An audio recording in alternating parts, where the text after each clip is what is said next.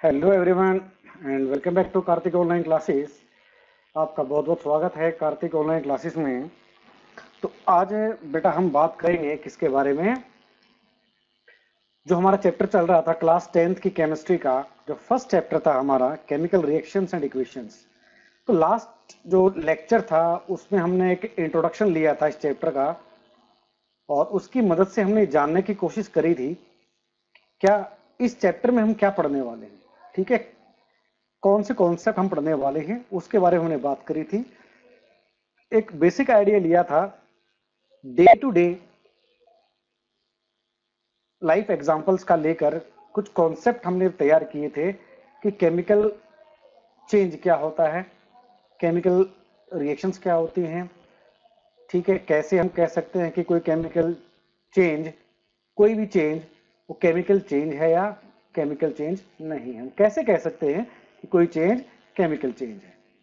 तो उसी लेक्चर की सीरीज़ में आज हम बात करेंगे नेक्स्ट टॉपिक का, कि जो कि हमने डिस्कस किया था लास्ट लेक्चर के अंदर भी, कि how can we say that a particular change is a chemical change उसी को हम आगे बढ़ाएँगे इस लेक्चर के अंदर with the help of some examples of NCERT NCERT में एग्जांपल्स दे रखे हैं उनको लेकर, जो एक्टिविटीज़ दे रखी है उनको लेकर हम समझने की कोशिश करेंगे कि केमिकल चेंज क्या होता है, कब हम कह सकते हैं कि कोई चीज़ केमिकल चेंज है और केमिकल चेंज क्या होता है। ठीक है? तो आइए स्टार्ट करते हैं बेटा। तो एनसीईआरटी की फ़र्स्ट चैप्टर की जो एक्टिविटी है, हमारी कौन सी एक्टिविटी भाई? एक्टिविटी 1.1 इसकी बात हो रही है। तो इसमें आप देखोगे राइट साइड में एक्टिविटी में एक हमारे पास क्या है? एक बर्नर है। ठीक है? साथ में यहाँ पर दिखा रखा है बेटा क्या दिखा रखा है? मैग्नीशियम रिबन दिखा रखा है यहाँ पर। एक टोंग है, जिसकी मदद से हम मैग्नीशियम रिबन को पकड़ते हैं। नीचे एक वॉच ग्लास है। ठीक है? उस वॉच ग्लास में क्या देखने को मिल रही है? मैग्नीशियम ऑक्साइड हमें देखने को मिल रही है। इस एक्टिविटी के बारे में हम पढ़ेंगे, ठीक है? तो सबसे पहले बात सेफ्टी प्रिकॉशंस की बात करें। जब भी इस एक्टिविटी को हम परफॉर्म करते हैं तो मैग्नीशियम रिबन होता है। मैग्नीशियम रिबन भाई कुछ इस प्रकार का होता है। लंबा सा एक रिबन लाइक स्ट्रक्चर होता है। पतला सा मेटल का मैग्नीशियम का, ठीक है? जो कि कलर वाइज की बात करें तो कैसा होता है वो? ग्रे कलर का होता है। कुछ सिल्वर टाइप का होता है हमारा सिल्वर ग्रे टाइप का होता है हमारा मैग्नीशियम रिबन तो आइए हम बात करते हैं इस एक्टिविटी के बारे में। तो इसमें क्या बात कही हुई है? Clean a magnesium ribbon about two centimetre long by rubbing it with sand paper जो मैग्नीशियम रिबन हमने लिया, उस मैग्नीशियम रिबन को हमें क्या करना है? साफ़ करना है with the help of sand paper ठीक है? तो यहाँ से भी हमारे क्वेश्चन बनता है, इसको हम डिस्कस करेंगे आगे हम, ठीक है? कि हमें साफ़ क्यों करना चाहिए? पहले एक्टिविटी को कर लेते हैं। उसके बाद क्या कहा गया इसमें? Hold it with pair of tongs ठीक है? चिमटी टाइप का पकड़ने का होता है टोंग होते हैं जिससे रिबन को पकड़ेंगे, ताकि एक्टिविटी करते हुए हमारी आँखें जो हैं, हमारे जो हाथ हैं, वो प्रभावित ना हो, वो जले ना। इसीलिए हमें टोंग्स की यहाँ पर रिक्वायरमेंट होती है। उसके बाद burn it using a spirit lamp spirit lamp की मदद से हमें, मदद से हमें क्या करना है? इसको जलाना है, ठीक है, इस जो मैग्नीशियम रिबन है, इसको हमें क्या करना है? जलाना है भाई ठीक है? एंड और बर्नर की मदद से या कोई माचिस की मदद से आप जला सकते हो। एंड उसके बाद क्या करना है? Collect the ash so formed in a watch glass इससे जो राख बनेगी, उसको हमने क्या करना है? कलेक्ट करना है। ठीक है दिखा रखा ना यहाँ पर वॉच ग्लास दिखा रखा है यहाँ पर तो इसके अंदर हमें कलेक्ट करना है। तो सबसे पहले मैंने बताया आपको कि जो मैग्नीशियम का कलर कैसा होता है बेटा, वो समहाउ ग्रे कलर का क्या होता है, मैग्नीशियम रिबन होता है। ठीक है? जब इसको हम जलाएँगे, ठीक है, जब इसको जलाएँगे हम तो मैग्नीशियम को हमने क्या किया बेटा बर्न किया, जलाया in the presence of oxygen तो जो रिएक्शन हमारी होगी वो कौन सी होगी हमारी? एमजीओ ठीक है ट्वाइस ऑफ़ एम और ट्वाइस ऑफ़ एम हमारी। ये हमारी रिएक्शन आएगी। ठीक है, ये जो मैग्नीशियम ऑक्साइड हमारी बनेगी बेटा, ये इसका जो कलर होगा हमारा वो कैसा होगा? व्हाइट कलर होगा। कैसा होगा? व्हाइट कलर होगा। और यहाँ पर जो मैग्नीशियम था, वो हमारा किस कलर का था बेटा? ग्रे कलर का था। ग्रे कलर का हमारा मैग्नीशियम रिबन था। तो लास्ट पॉइंट हमारा क्या कहता है? वो लास्ट पॉइंट कहता है यहाँ पर व्हाट डू यू ऑब्ज़र्व हमने क्या ऑब्ज़र्व किया? जैसे कि रिएक्शन हमने आपके सामने लिख दिया मैंने तो हमें क्या देखने को मिला? जब मैग्नीशियम रिबन क्या एक सॉलिड है? ठीक है, ये सॉलिड है मैग्नीशियम रिबन। जब इसको जलाया तो ये भी सॉलिड फॉर्म में था, मगर ये किस फॉर्म में हो गया अब ये? पाउडर्ड फॉर्म में हो गया। पाउडर्ड फॉर्म में हो गया। पाउडर फॉर्म में कन्वर्ट हो गया। और जो कलर था हमारा मैग्नीशियम ऑक्साइड हमारा जो बना, जो राख बनी हमारी, वो राख बनेगी मैग्नीशियम ऑक्साइड की। और उस मैग्नीशियम ऑक्साइड का जो कलर होगा, वो हमारा होगा व्हाइट क्या होगा? व्हाइट कलर होगा। ठीक है? तो यहाँ से आप देख पाओगे कि ग्रे कलर से जो कलर चेंज हुआ, हमारा किसमें चेंज हुआ बेटा? व्हाइट कलर में चेंज हो गया। दूसरा, बिल्कुल ये सॉलिड एक रिबन था और बाद में से स्टेट चेंज हो कैसे बन गई? पाउडर फॉर्म में चेंज हो गई। तो ये हमारी कुल मिलाकर रिएक्शन है इस एक्टिविटी की। इस रिएक्शन को ध्यान से देखिएगा, काफ़ी इंपॉर्टेंट है। ठीक है? ध्यान रखना इस बात पे। तो अब इसमें कुछ प्रिकॉशंस हैं। जब भी हम मैग्नीशियम रिबन को जलाएँगे ठीक है? जब भी हम किसको भाई, जो मैग्नीशियम है हमारा, मैग्नीशियम रिबन को हम जलाते हैं तो हमारा जो फ्लेम होती है बिल्कुल कैसे आती है? वाइट डेजलिंग फ्लेम हमें देखने को मिलती है और जो आँखों को काफ़ी प्रभावित कर सकती है। इसीलिए इस दौरान हमें कभी भी सीधा हमें जलते हुए रिबन की तरफ़ नहीं देखना चाहिए, क्योंकि हमारी आँखों को ये खराब कर सकती है। ठीक है? एक तो क्वेश्चन हमारा ये हो गया कि जब मैग्नीशियम रिबन जलता है तो किस प्रकार की लाइट हमें देखने को मिलती है? बिल्कुल व्हाइट डेजलिंग लाइट हमें देखने को मिलती है। ठीक है? एक क्वेश्चन और था मैंने यहाँ से बताया था मैंने कि मैग्नीशियम रिबन को हमें सैंड पेपर की मदद से हमें क्यों साफ़ करना चाहिए? ठीक है? क्यों साफ़ करना चाहिए? मैग्नीशियम जो रिबन है, मैग्नीशियम रिबन क्या करता है? ये ऑक्सीजन से कंबाइन कर कर एक मेटल है तो मैग्नीशियम क्या करेगा? ऑक्सीजन से रिएक्ट कर कर एक परत बना लेता है अपने ऊपर oxide of magnesium magnesium oxide की एक परत बना लेता है। और कई बार हमें देखने को मिलता है एक कार्बोनेट की लेयर, एक कार्बोनेट की लेयर, ठीक है, मैग्नीशियम कार्बोनेट की लेयर भी फॉर्म हो जाती है मैग्नीशियम रिबन के ऊपर, जिसके चलते उसको जलाना काफ़ी कठिन होता है, आसानी से हम जला नहीं पाते हैं। इसीलिए हमें क्या करना पड़ता है, मैग्नीशियम रिबन को जलाने से पहले हमें साफ़ करना पड़ता है, ताकि इसको हम आसानी से क्या कर सके, जला सके। तो ये क्वेश्चन हमारे यहाँ से हो गया। हमें कलर चेंज में देखने को मिला। ठीक है ग्रे टू व्हाइट और जो फ्लेम कैसी थी हमारी, बिल्कुल व्हाइट डेजलिंग फ्लेम थी। ठीक है, दूसरा एक क्वेश्चन और हमारा बना जो कि बोर्ड के पॉइंट ऑफ़ व्यू से काफ़ी इंपॉर्टेंट है, वो ये कि जब भी हम मैग्नीशियम रिबन को जलाने, जलाते हैं लैब के अंदर, उसे हमें क्या करना चाहिए? सैंड पेपर से साफ़ करना चाहिए। सैंड पेपर से साफ़ क्यों करना चाहिए? ताकि उसके ऊपर जो एक परत जमी हुई है मैग्नीशियम ऑक्साइड की, उसको साफ़ किया जा सके ताकि उसको हम आसानी से बर्न कर सके। दूसरी जो एक्टिविटी दे रखी है हमारी 1.2 एक्टिविटी 1.2 इसमें क्या दे रखा है बेटा? एक लेड नाइट्रेट हमें लेना है। ठीक है लेड नाइट्रेट का सॉल्यूशन हमें लेना है टेस्ट ट्यूब के अंदर। ठीक है पीबी इसका केमिकल फॉर्मूला क्या है? पीबी एनओ थ्री का होल ठीक है कलरलेस ये याद रखना है भाई। ये जो है, कैसा है? कलरलेस सॉल्यूशन होता है। और इसके अंदर हमें क्या ऐड करना है? फिर पोटेशियम आयोडाइड ये भी हमारा कलरलेस होता है भाई। पोटेशियम आयोडाइड पोटेशियम मतलब के और आयोडाइड मतलब आई ठीक है? पोटेशियम आयोडाइड हमें क्या करना है? लेड नाइट्रेट के अंदर पोटेशियम आयोडाइड को ऐड करना है। ठीक है, दोनों ही कलरलेस हैं। ठीक है तो क्या निकल करके आएगा, उसको हम जानने की कोशिश करते हैं भाई। तो हमने क्या लिया, एक टेस्ट ट्यूब ली। ठीक, हमने क्या लिया बेटा, एक टेस्ट ट्यूब ली। इस टेस्ट ट्यूब के अंदर हमने सबसे पहले ऐड किया lead nitrate Pb NO three का होल ट्वाइस ऐड करने के बाद हमने क्या किया, उसके बाद इस लेड नाइट्रेट के सॉल्यूशन के अंदर हमने ऐड किया पोटेशियम आयोडाइड क्या ऐड किया? पोटेशियम आयोडाइड अब इन दोनों के बीच जो रिएक्शन होगी तो क्या देखने को मिलेगा हमें?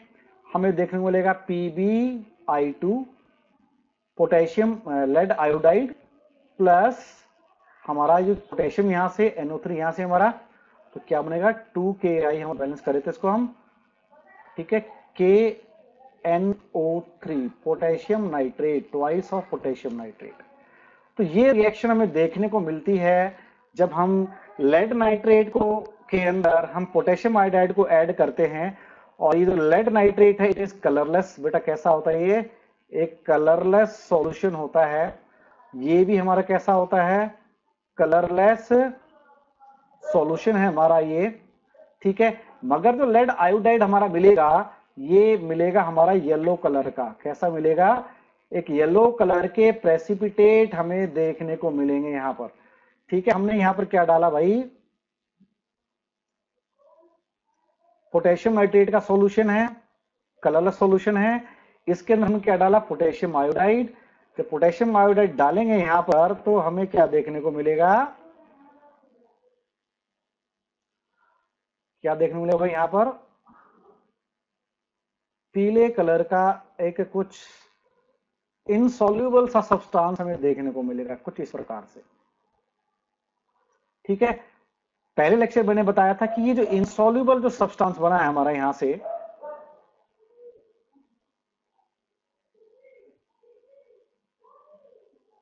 ठीक है? अब ये जो इनसॉल्यूबल सब्सटेंस बना हमारे यहाँ पर, इसे ही कहते हैं बेटा हम प्रेसिपिटेट प्रेसिपिटेट कहते हैं। ठीक है, क्या कहते हैं? प्रेसिपिटेट फ़र्स्ट लेक्चर में बताया था, जब भी कोई भी केमिकल रिएक्शन होगी, वहाँ पर एक इंसॉल्युबल सब्सटेंस बनता है, जिसे हम प्रेसिपिटेट कहते हैं। तो ये रिएक्शन हमारी बोर्ड के पॉइंट ऑफ़ व्यू से काफ़ी इंपॉर्टेंट है। तो हमें इसको ध्यान में रखना है।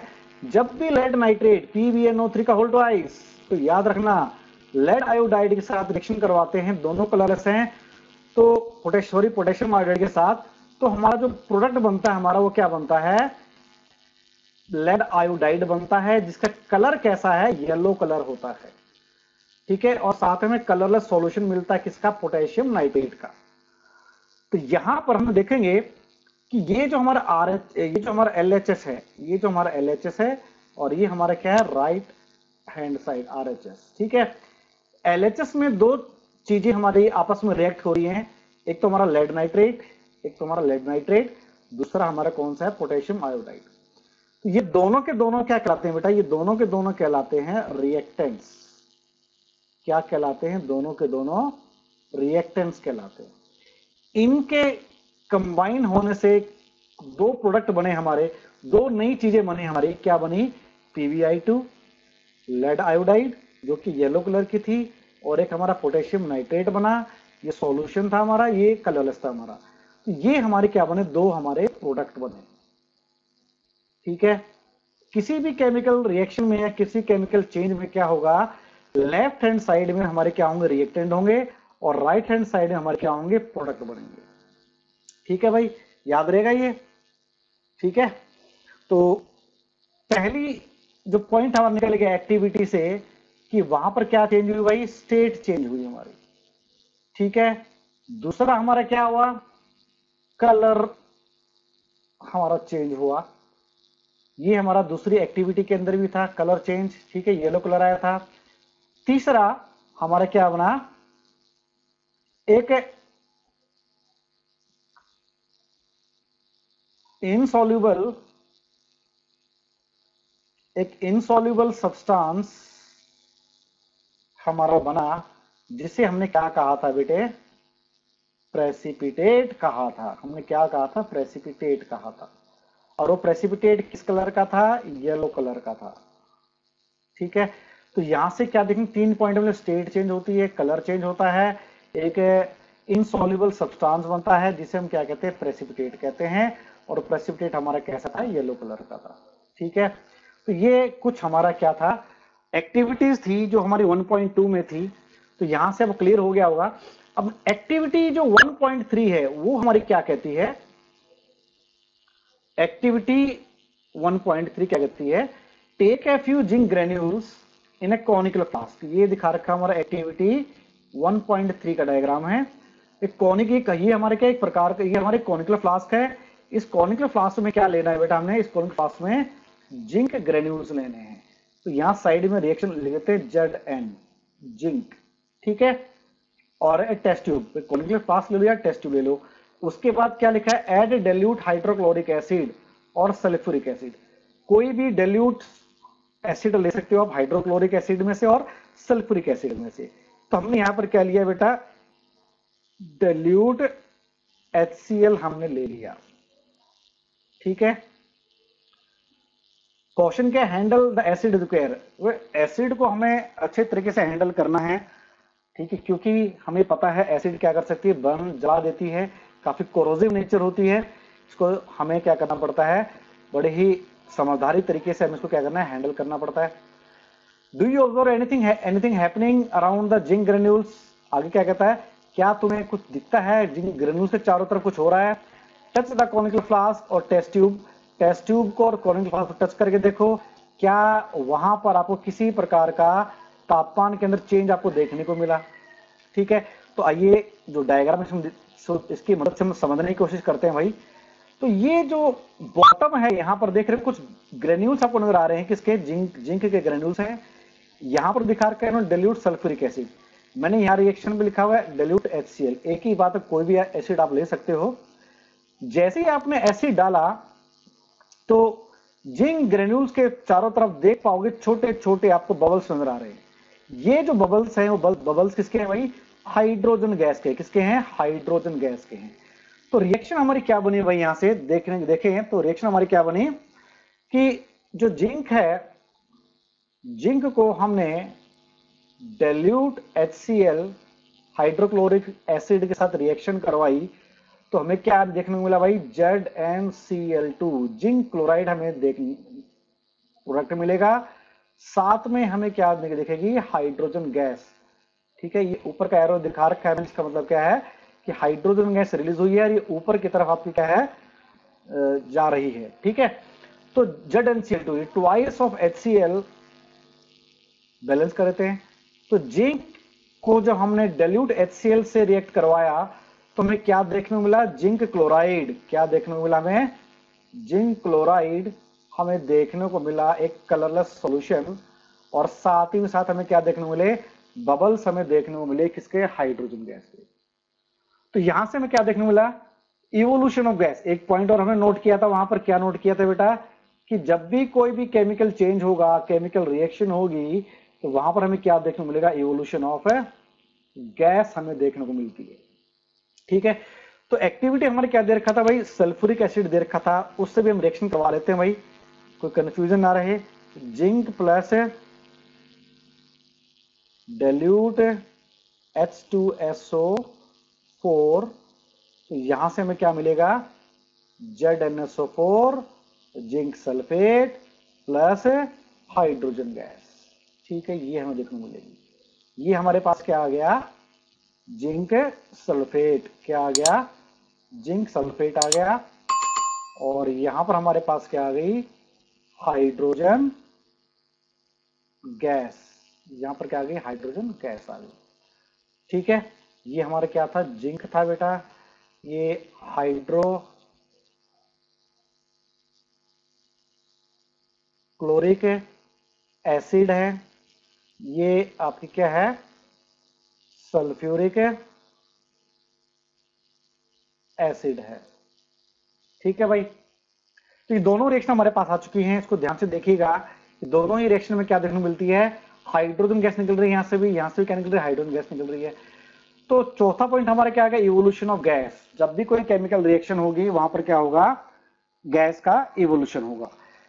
एक पॉइंट और दे रखा था बेटा एक्टिविटी में, वो क्या दे रखा था? क्या वहाँ पर कोई चेंज हमें देखने को मिलेगा? टेम्परेचर के अंदर बिल्कुल देखने को मिलेगा। जब भी कोई एसिड का रिएक्शन होता है मेटल के साथ, उस दौरान क्या होती है? बेटा हीट रिलीज़ होती, क्या आती है? हीट रिलीज़ होती है। हीट रिलीज़ होती है। ठीक है? तो ऐसे रिएक्शंस जिसके अंदर हीट रिलीज़ होती है, इन्हें कहते हम एक्सोथर्मिक रिएक्शन एक्सोथर्मिक रिएक्शंस कहते हैं भाई। एक्सो मतलब निकलना थर्मिक मतलब हीट ऐसी रिएक्शन केमिकल रिएक्शन जिसमें हीट का इवोल्यूशन होता है हीट रिलीज़ होती है, उसे कहते हैं एक्सोथर्मिक रिएक्शन जैसा कि हमें पता है, अगर हीट रिलीज़ होगी तो उसका टेम्परेचर भी क्या होगा बेटा? चेंज होगा. यानी कि change in temperature is observe during the reaction of zinc with the dilute hydrochloric acid और डल्यूट सल्फ्यूरिक एसिड ठीक है? तो जितनी भी एक्टिविटी हमने पढ़ी, भाई जहाँ जहाँ से हमारा क्वेश्चन बनता था, हमने डिस्कस किया तो याद रखना ठीक है, कि मैग्नीशियम रिबन को हम क्यों साफ़ करते हैं? जो, जब मैग्नीशियम रिबन को जलाते हैं, उस फ्लेम का, वो फ्लेम कैसी होती है? और जो मैग्नीशियम ऑक्साइड होता है, जो पाउडर बनता है, उसका कलर कैसा होता है?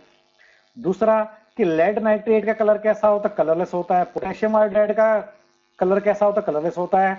मगर इनके बीच जो रिएक्शन होती है, जब पोटेश, लेड आयोडाइड बनती है, लेड आयोडाइड बनती है तो इस लेड आयोडाइड का कलर कैसा होता है बेटा? येलो कलर कैसा होता है? येलो कलर होता है। ये भी बात नोट डाउन करना बड़ा ही इंपॉर्टेंट है। एनटीएससी के पॉइंट ऑफ़ व्यू काफ़ी इंपॉर्टेंट है ये। ठीक है? लेड आयोडाइड का कलर कैसा होता है? येलो होता है। और ये किस फॉर्म में बनता है? इनसॉल्यूबल इनसॉल्यूबल सब्सटेंस होता है येलो कलर का, जिससे हमने क्या कहा था बेटा? प्रेसिपिटेट कहा था। ठीक है? ये सारी बातें आपको नोट डाउन रखनी है। और जब भी मेटल का रिएक्शन होती है डेल्यूट हाइड्रोक्लोरिक एसिड के साथ या सल्फ्यूरिक एसिड के साथ। हमेशा ही हाइड्रोजन गैस वहाँ पर क्या होती है लिबरेट होती है रिलीज़ होती है इवॉल्व होती है, याद रखना है। और ऐसी रिएक्शन हमेशा कैसी होती है? एक्सोथर्मिक रिएक्शन होती है। तो ये सारा हमारा कंक्लूजन था इन तीन एक्टिविटी का। तो सारी एक्टिविटी करने के हमें क्या देखने को मिला? तो from the about three activities we can say that any of the following observation help us to determine whether chemical reaction has taken place जितनी तीन एक्टिविटी हमने पढ़ी है, इनकी ऑब्जर्वेशन से, इनको देखने से हमें क्या पता चलता है कि ऐसी कुछ हमें देखने को मिलता है फॉलोइंग जो पॉइंट्स हैं, अगर ऐसा हमें कुछ देखने को मिलता है तो वहाँ पर कोई केमिकल रिएक्शन हुई है। तो सबसे पहला पॉइंट हमारे क्या है? चेंज इन स्टेट ठीक है? वहाँ पर सॉलिड था मैग्नीशियम रिबन और वो पाउडर फॉर्म में कन्वर्ट हो गया। सेकेंड में हमारा क्या हुआ था बेटा? एक इंसॉल्युबल सब्सटेंस बना था। स्टेट चेंज हो रही थी वहाँ पर भी। चेंज इन कलर फ़र्स्ट में भी हमारा कलर चेंज हुआ था। सेकेंड जो एक्टिविटी थी, यहाँ पर भी हमारा कलर चेंज हुआ। ठीक है? कलरलेस सॉल्यूशन से क्या बना? इनसोल्यूबल प्रेसिपिटेट बना। और सेकेंड थर्ड जो एक्टिविटी थी हमारी, यहाँ पर हमें क्या देखने मिली? Evolution of gas hydrogen gas का इवोल्यूशन हमें देखने को मिला। और उसी एक्टिविटी हमें क्या देखने change in temperature third activity हमें क्या देखने को मिला? क्योंकि जब हम टेस्ट ट्यूब को टच करते हैं तो टेस्ट ट्यूब हमारी कैसी होती है? हमें गर्म महसूस होती है। इसका मतलब क्या हुआ? उस सॉल्यूशन का तापमान बढ़ा। जब जिंक और एसिड का रिएक्शन हुआ, उस दौरान क्या रिलीज़ हुई बेटा? हीट रिलीज़ हुई। तो चेंज इन टेम्परेचर हमें देखने को मिला। ठीक है? As we observe the changes around us we can see that there is a large variety of chemical reaction taking place around us जब हम देखते हैं हमारे आसपास काफ़ी सारे बदलावों को तो हमें ये पता चलता है कि वहाँ पर हमें क्या काफ़ी केमिकल रिएक्शन जो है हमारे आसपास हो रही होती है। तो we will study about the various types of chemical reactions and their symbolic representation in this chapter. आगे इस चैप्टर में हम बात करेंगे किसके बारे में? Different types of chemical reactions क्या होती हैं और उनको हम एक सिंबल के फॉर्म में किस प्रकार से इसको रिप्रेजेंट करते हैं। यानी कि हम कहें कि राइटिंग ए केमिकल इक्वेशन हम केमिकल इक्वेशन कैसे राइट कर सकते हैं और उसको बैलेंस कैसे करना है, ठीक है? और उसके बाद हम बात करेंगे different type of chemical reactions के बारे में, ठीक है? तो यहाँ से जो निकल के हमारे आया कि केमिकल इक्वेशंस क्या होती हैं। जैसे कि मैंने बताया आपको एक्टिविटी 1.2 में तो हाइड्रोजन गैस का जो फॉर्मेशन हुआ था by the action of dilute sulphuric acid on zinc या फिर हाइड्रोक्लोरिक एसिड ठीक है, ये जो चेंज आया था, यही हमारा क्या है केमिकल चेंज है और इसी को हम क्या कहते हैं केमिकल रिएक्शन कहते हैं। एक्टिव 1.1 में हमने क्या लिखा कि जब हम मैग्नीशियम रिबन को जलाते हैं मैग्नीशियम रिबन को जब हम जलाते हैं भाई in the presence of oxygen it gets converted to magnesium oxide हमने ऑलरेडी डिस्कस कर चुके हैं। दिस डिस्क्रिप्शन और a chemical reaction is a, in sentence form is quite long ठीक है? अगर इसको शब्द के रूप में लिखा जाए, काफ़ी लंबा हो जाता है। इसलिए इस चीज़ को हम क्या करते हैं? शॉर्टर फॉर्म में लिखने की कोशिश करते हैं। ठीक है? The simplest way to do this is to write it in the form of a word equation सबसे आसान तरीका क्या हमारा करने का है? लिखने का वर्ड इक्वेशन को जैसे कि लिखा हुआ है मैग्नीशियम प्लस ऑक्सीजन, ठीक है, is equal to magnesium oxide. तो ये सिंपल सा तरीका है एक वर्ड की फॉर्म लिखने का किसी भी केमिकल चेंज को, किसी भी केमिकल रिएक्शन को, ठीक है? तो यही हमारी क्या कहलाती है? Chemical equation the substances that undergo chemical change in the reaction magnesium and oxygen, यहाँ पर हम देखा तो मैग्नीशियम और ऑक्सीजन क्या है दीज आर द रिएक्टेंट्स ये आपस में रिएक्ट कर रहे हैं, ठीक है, आपस में मिल रहे हैं। और इसके बदले में क्या है a new substance is form that is called magnesium oxide तो आर में हम देखोगे, यहाँ पर क्या एक नया सब्सटेंस बना है मैग्नीशियम ऑक्साइड ठीक है? और ये जो नया सब्सटेंस जो बना है, इसे ही कहते हैं प्रोडक्ट ठीक है? यहाँ से एक बात तो निकल करके आ रही है, जब भी कोई भी केमिकल रिएक्शन होगी, ठीक है, कोई केमिकल चेंज होगा तो वहाँ पर क्या इन्वॉल्व होंगे? रिएक्टेंट्स इन्वॉल्व होंगे और क्या बनेंगे वहाँ पर हमारे? प्रोडक्ट्स हमेशा बनेंगे। रिएक्टेंट्स एंड प्रोडक्ट्स हमारे वहाँ पर इन्वॉल्व होंगे। ठीक है भाई? तो रिएक्टेंट्स और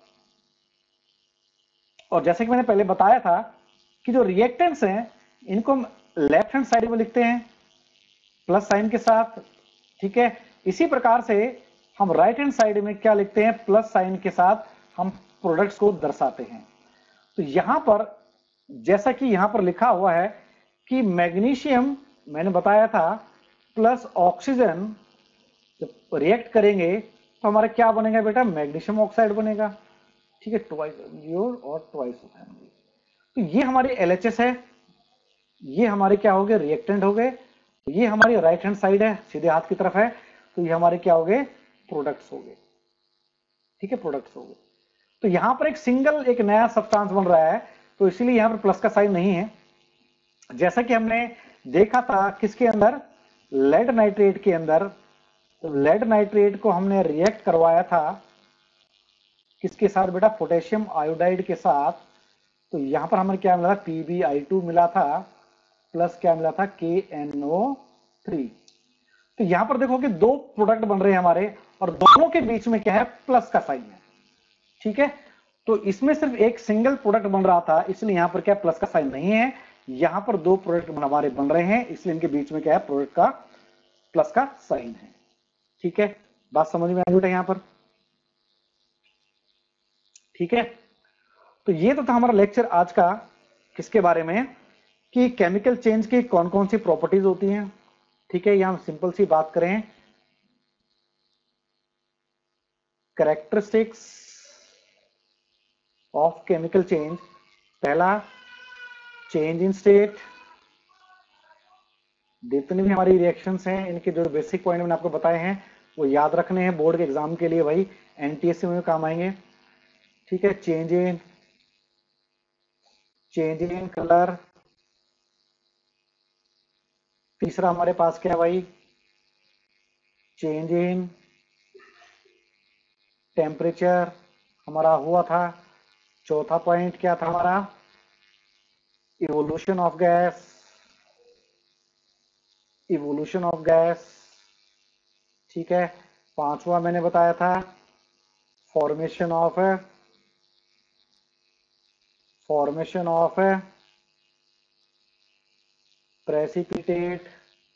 तो प्रेसिपिटेट हमारा वहाँ बना था। ये पाँच पॉइंट अगर नज़र आते हैं तो समझ लीजिए कि हमारा चेंज क्या है। केमिकल चेंज है। ठीक है भाई?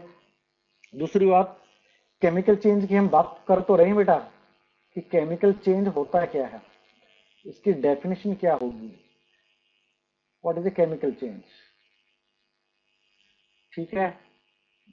The process in which a new substance a new substance is formed with new properties new properties from a substance or two or more than two substances. More than two substances. ठीक है? तो chemical change क्या एक ऐसा phenomena जिसमें क्या है कि नया सब्सटेंस बनता है और जिसकी प्रॉपर्टी क्या बिल्कुल नई प्रॉपर्टी नहीं होती है इनकी जो नया सब्सटेंस बनता है, उसकी प्रॉपर्टी रिएक्टेंट की प्रॉपर्टी से बिल्कुल अलग होती है। ठीक है भाई? याद रहेगा ये? तो इस दौरान क्या होता है बेटा? पूरे केमिकल चेंज के दौरान क्या होता है? केमिकल चेंज के दौरान क्या होता है?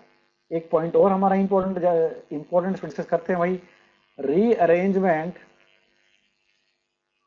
रीअरेंजमेंट ऑफ़ एटम्स आपने एटम्स पढ़ा होगा नाइन्थ क्लास में। ठीक है, वही बात हो रही है। जब भी कोई केमिकल चेंज होगा केमिकल रिएक्शन होगी वहाँ पर हमें क्या देखने को रीअरेंजमेंट ऑफ़ एटम्स हमें देखने को मिलेगा। जैसे कि अगर हम किसी चीज़ को जलाते मान लो कार्बन को जलाया, हमने लकड़ी का पेज पेपर को जलाया कार्बन की बनी होती है in the presence of oxygen तो हमारा क्या बना? टू बना। तो यहाँ पर कार्बन अलग था ऑक्सीजन अलग था और दोनों कंबाइन करके क्या बना दिया? टू यानी कि कार्बन और ऑक्सीजन के दो एटम्स थे, ये रीअरेंज हो गए। और रीअरेंज करने के बाद उन्होंने क्या बनाया? एक मोलिक्यूल बनाया किसका? कार्बन डाइऑक्साइड का। ठीक है? उसी प्रकार से जो जिंक वाली हम रिएक्शन ले लेते हैं। Zinc plus H C L dilute H C L था हमारा ये। यहाँ पर क्या बना? Z N C L two plus H two ठीक है? तो यहाँ पर क्या देखने मिला? जिंक के साथ क्या पहुँच गया? एच सी एल से ले गया। और हाइड्रोजन यहाँ से हमारा क्या हो गया बेटा? बिल्कुल अलग हो गया। तो यहाँ देखने क्या मिला? रीअरेंजमेंट ऑफ़ एटम जिंक का एटम क्लोराइड के एटम के साथ कंबाइन कर गया और जो हाइड्रोजन के एटम्स थे कंबाइन अलग अलग हो गए हमारे किसे? हाइड्रो हाइड्रोक्लोरिक एसिड से in the form of hydrogen gas तो ये हमें देखने को मिलता है rearrangement of atoms in a chemical change और केमिकल रिएक्शन तो ये तो था आज हमारा आज का लेक्चर किसके बारे में? कि केमिकल चेंज क्या होता है? केमिकल चेंज की क्या क्या विशेषताएँ होती हैं, हमने एनसीईआरटी की बहुत ही इंपॉर्टेंट एक्टिविटीज़ के द्वारा समझने की कोशिश करी, ठीक है? उनको ध्यान से सुनिएगा, क्योंकि बोर्ड में पूछे जाने वाले बड़े ही इंपॉर्टेंट क्वेश्चन हैं। एमसीक्यू के अंदर भी आते हैं और एक नंबर के वेरी शॉर्ट आंसर क्वेश्चन या दो नंबर के शॉर्ट आंसर क्वेश्चन भी पूछे जाते हैं, ठीक है? और हमने डिस्कस किया कि कौन कौन सी करेक्टरिस्टिक्स हो सकती है किसकी केमिकल चेंज की। और लास्ट में हमने डिस्कस किया कि केमिकल इक्वेशन क्या होती है, उसकी डेफिनेशन रिएक्टेंट्स क्या होते हैं प्रोडक्ट्स क्या होते हैं, और केमिकल इक्वेशन केमिकल रिएक्शन के दौरान हमें क्या देखने को मिलता है? रीअरेंजमेंट ऑफ़ एटम्स हमें देखने को मिलते हैं।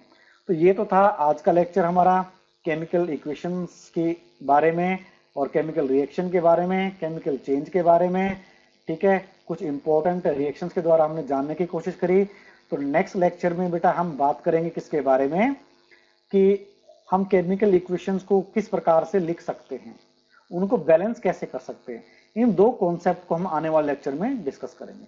तो बने रहिए, यूँ ही मेरे साथ, कार्तिक ऑनलाइन क्लासेस के अंदर। अगर आपको ये लेक्चर अच्छा लगा है तो लाइक कीजिएगा, हमारे चैनल को सब्सक्राइब कीजिएगा, और चैनल को अपने दोस्तों के साथ शेयर कीजिएगा, ताकि इसी प्रकार के जो सीरीज़ है हमारी केमिस्ट्री की प्लस टेंथ क्लास की, इसके लेक्चर आपको लगातार मिलते रहें और साथ ही साथ प्लस वन प्लस टू की बायोलॉजी जो हमारी है, उसके भी अपडेट्स आपके बड़े भाई बहन जो दो है, अब दोस्त जो हैं, उनके लिए भी ये सीरीज़ हमारी चलती रहे बायो की।